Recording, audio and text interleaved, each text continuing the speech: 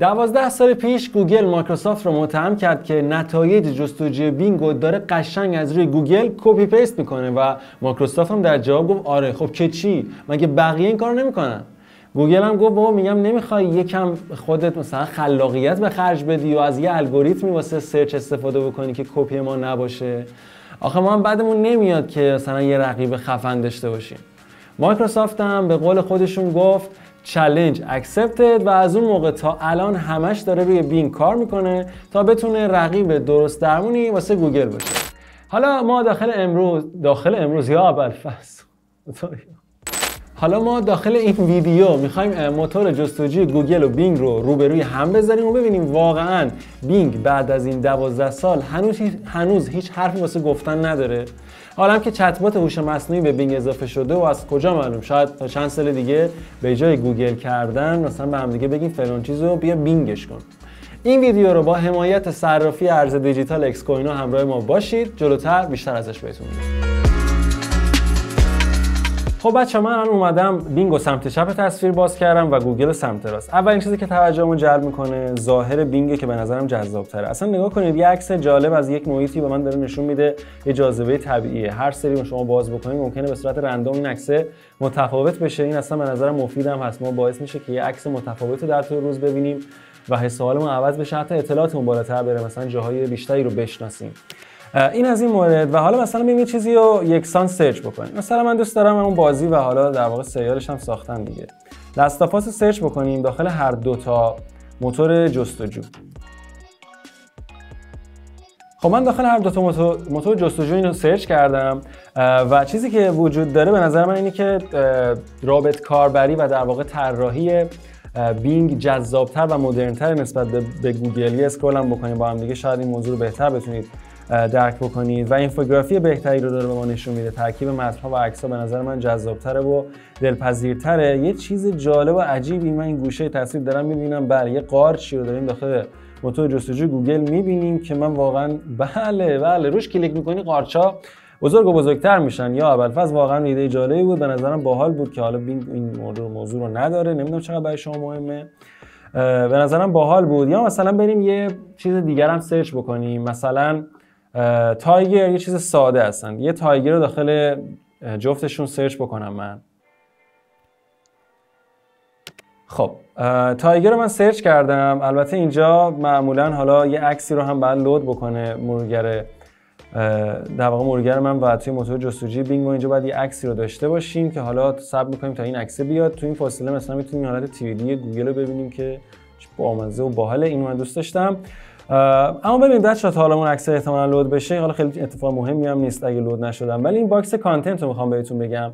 ببینید الان اومده یه سری اطلاعات رو از ویکی‌پدیا گرفته برای tiger توی box content میاد این کارت های search رو اینجا قرار میده که اگر من سوالی مد نظرم هست سریعتر و راحتتر بتونم بهش برسم.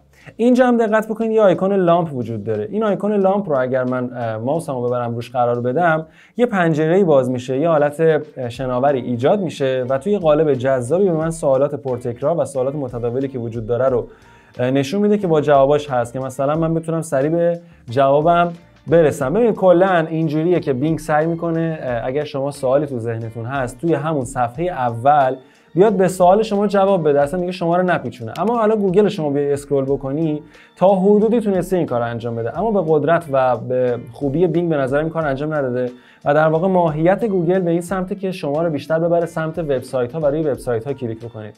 اما بینگ اینطوریه که شما رو سعی می‌کنه که در واقع توی همون صفحه اول بهتون جواب بده. این عکس هم ببخشید همین الان load شد. نگاه کنید از این کادر خارج شده. به نظرم ببر خشن و باحالیه.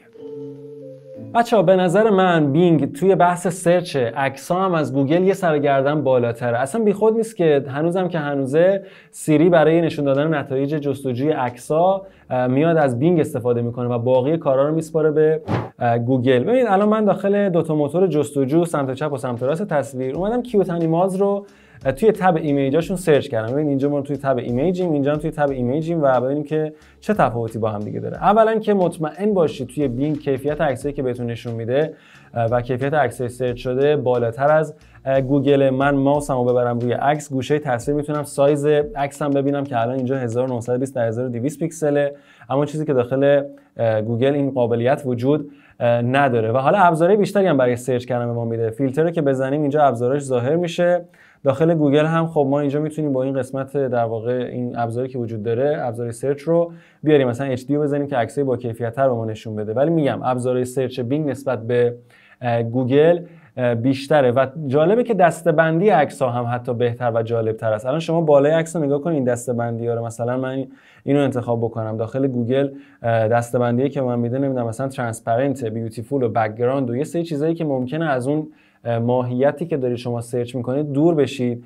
اما بینگ دستبندی کاملتر و بهتری داره و به نظرم زودتر می‌تونه شما رو به اون چیزی که می‌خواید برسونه. خب بچه‌ها بریم سراغ ویدیو. ببینید الان من توی دوتا موتور جستجو بینگ و گوگل اومدم زومیت رو search کردم و داخل tab ویدیوش هم هستیم. ببینید چقدر باحالتر بینگ اومده از کل صفحه نمایش استفاده کرده و اومده thumbnail ها رو بزرگ و بزرگ نشون داده. ولی گوگل نگاه کنید چجوری داره نشون میده. خدایی بینگ اینجا داره بهتر عمل می‌کنه. و یه چیز جالبتری که وجود داره اینه که الان مثلا من آقا می‌خوام این ویدیو رو ببینم. اگر من بیام روش کلیک بکنم منو هدایت نمی‌کنه به یوتیوب منو مجبور بکنه برم داخل یوتیوب ببینم. همینجا برای من ویدیو رو باز می‌کنم و می‌تونم ویدیو رو ببینم. ولی مثلا من بیام روی این کلیک بکنم منو هدایت می‌کنه به در واقع یوتیوب و میگه مجبوری که بری اونو داخل یوتیوب تماشا بکنی. که به نظر من دیگه با به کاربر این حق انتخابو بده که همونجا بخواد ببینتش شاید حال نکنه بره داخل یوتیوب ببینه. و کلا داستان اینه که بینگ با پلتفرم های اجتماعی مثل یوتیوب مثل مثلا توییتر و نمی‌دونم تیک تاک و اینا هماهنگ تره الان من اومدم زومیت رو search کردم. زومیت رو تشخیص داده که یک کانال یوتیوبی داره. در واقع داخل یوتیوب یک کانال داره. ولی اگر شما بیاید گوگل رو تماشا بکنید scroll بکنید متوجه میشید که این انگار رفته search کرده که چه ویدیوهایی مثلا اینو ببینید چه ویدیویی در واقع title ش زومیته. واسه همینه که میگم که با پلتفرم های اجتماعی بینگ هماهنگ تره یعنی شما اگر مثلا یه account توییتر داشتی نمی‌دونم هر چی بودی تو هر پلتفرم اجتماعی و اون رو search بکنی احتمالی که داخل بینگ به نتیجه برسی خیلی بیشتره تا گوگل. حالا از اکس کوینو می‌خوام بهتون بیشتر بگم. صرافی ارز دیجیتال اکس کوینو بچه‌ها یه تیم از متخصصای حوزه فناوری امنیت شبکه و محتوان که توی زمینه رمز ارزها از سال 96 دارن فعالیت می‌کنن. این شرکت با حفظ حریم خصوصی کاربرا و امنیت بالا امکان انجام معاملات تعداد خیلی زیادی از ارزهای دیجیتال رو برای کاربرا مورد فراهم کرده.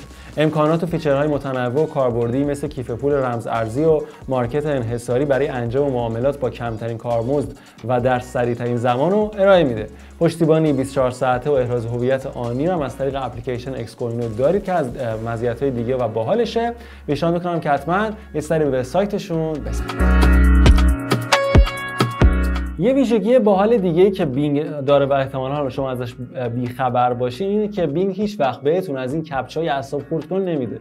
چون اصلا کاری نداره که با چه IP دارین ازش استفاده می‌کنید یه مورد باحال دیگه هم که من نظرم بد نیست اشاره بکنم اینه که بینگ به صورت پیشفرض نتایج جستجو رو توی یه tab جدا باز می‌کنه. اما تو گوگل خودتون می‌دونید دیگه باید هی کلیک راست بکنیم مثلا الان همین زومیت من بیام باز بکنم یه tab جدید رو در واقع باز می‌کنه اینجا. ولی داخل گوگل من روش کلیک بکنم روی همون tab ی که باز داریم اون لینک رو باز می‌کنم.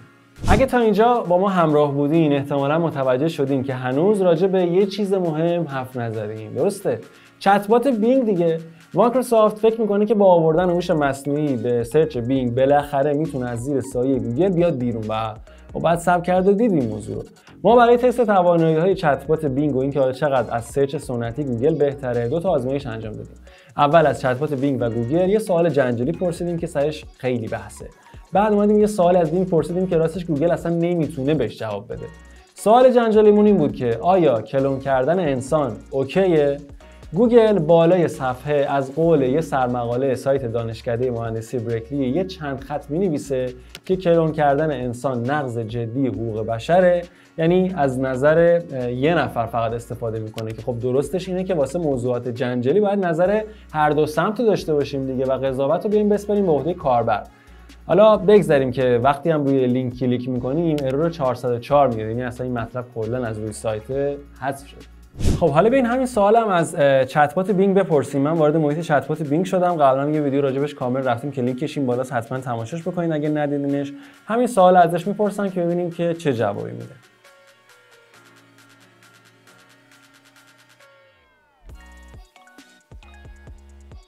خب بچه تا داره فکر می‌کنه به جواب بده من اینو بگم من چند بار راستش ازش این سوال رو پرسیدم. بار اول قاطعانه می‌گفت که نه اصلا اوکی نیست. بار دوم گفت که نه من بستگی به شرایط داره و یه سری لینک ها از ویکی‌پدیا و اینا آورد و اینا. گفت که مثلا خب یه سری خوبی ها داره یه سری بدی ها داره الان که من دارم می‌بینم بذار یه خورده بخونم اینو. احتمالا داره سعی می‌کنه که از زاویه مختلف به این قضیه نگاه بکنه و میگم باز هم داره سعی می‌کنه که به این قضیه بپردازه که بسته به شرایط ممکنه یه جاهایی در واقع خوب باشه یه جاهایی بد باشه که بله دقیقا داره به همین موارد اشاره می‌کنه که یه جوابی ما داده و از این لینک ها هم استفاده کرده برای رسیدن به این جواب و داره در موردش با ما صحبت می‌کنه. توی سوال بعدی از دو تا موتور جستجو پرسیدیم که نظر مهرداد ایسالی خودمون دبیر فناوری زومیت در مورد مکوس چیه؟ بذار اصلا گوگل اول بهتون بگم. راستش گوگل اصلا نمی‌دونست مهرداد ایسالو کیه و چند تا لینک بی ربط به سوال ما نشون داد. اما همین سوال بریم سراغ بینگ و از بینگ بپرسیم. اونم جالبه. خب من الان این سوال ازش پرسیدم که نظر مهرداد ایسالو در مورد مک چیه؟ می‌دونید چی کار کرده؟ رفته مثلا پستایی که مهرداد داخل لینکدین یا توییتر گذاشته رو تماما توی این چند ثانیه خوند و داره به من میگه که آقا مهرداد ایسالو اصلا کیه؟ داره چه داخل چه مجله کار می‌کنه؟ مثلا زومیت داره کار می‌کنه. مثلا ایرانیان آنلاین magazine همینجا دارید میبینیدش. یا مثلا اینجا اومده گفته که آقا اون مثلا تحت تاثیر عملکرد و مشخصات MacBook Pro M1 قرار گرفته و در واقع design و رابط کاربری macOS رو هم میپسنده. به نظر من چیز خیلی عجیب غریبیه. این واقعا اتفاق جالبیه که اینقدر توی این زمان کم می‌تونه مثلا همون بحث هماهنگی است. هماهنگی با پلتفرم های اجتماعی. توی این پلتفرم های اجتماعی اینقدر هماهنگ می‌تونه search بکنه و دقیقا اون سوالی که من ازش پرسیدم رو به من جواب بده. از خوبی های بینگ گفتیم که اعتراف می‌کنم از چیزی که خودم اولش فکر می‌کردم بیشتر بود. حالا بریم ببینیم که کجاها از رقیبش یعنی گوگل جا میمونه. گوگل خب یه 13 سالی از بینگ بیشتر عمر کرده و توی مدت کلی تجربه به دست آورده. کلی هم داده شخصی کاربرا رو جمع کرده تا هم با فروششون پول در بیاره و هم با تجزیه و تحلیلشون خودش رو با مدل سوال کردن کاربرا بیشتر هماهنگ بکنه. همه اینا می‌دونید باعث شده که تو بیشتر موارد مخصوصا تو search فارسی نتایجی که گوگل نشون میده از بینگ مرتبطتر و حتی قابل اطمینان تر باشه.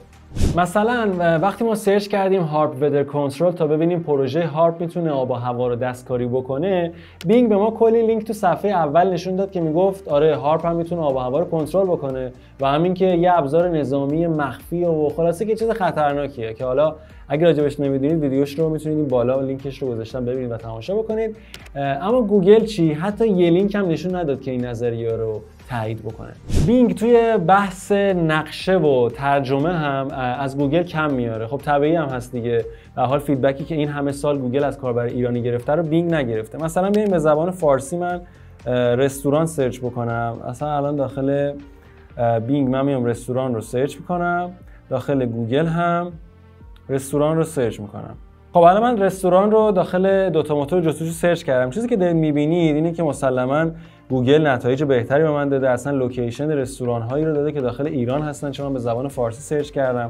اما اینجا اگر scroll بکنیم ممکنه رستوران هایی رو ببینیم که اصلا داخل ایران هم نباشن و اصلا data هایی که به من میده قابل مقایسه نیست با data یی که در واقع گوگل داره به من میده. پس تو زبان فارسی طبیعتا گوگل الان اینجا لاقل روی این مورد که سرگردن یه سرگردن بالاتره اما می‌خوام بریم سراغ translate مثلا یه چیزی رو یکسان ترجمه بکنیم ببینیم که در واقع توی بحث ترجمه چجوری می‌تونه عمل بکنن. خب الان من داخل هر دو تا موتور جستجو آوردم translate ها رو که بتونیم یه کلمه رو search بکنیم و اون کلمه nonchalant می‌خوام ببینم که چجوری اینو ترجمه می‌کنن.